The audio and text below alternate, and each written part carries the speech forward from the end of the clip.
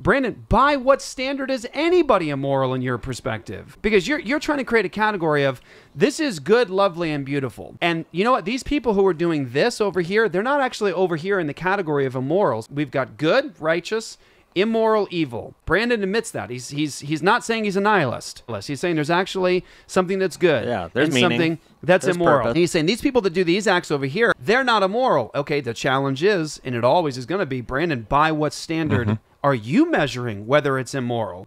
Is it because Brandan? Is it because in his little mind he believes that it's not immoral? Or is it the culture that we're currently in that says it's not immoral? Or is there a, actually an objective standard of something that it is right or wrong or immoral or moral? Is there a standard out there somewhere? Where can I find this standard, Brandan? Is it somewhere I can investigate or is, is it a book that I can open? Is there a standard for what is right and wrong? Because you're clearly applying it. You're saying that what they're doing isn't wrong. By what standard? Who says, Brandan?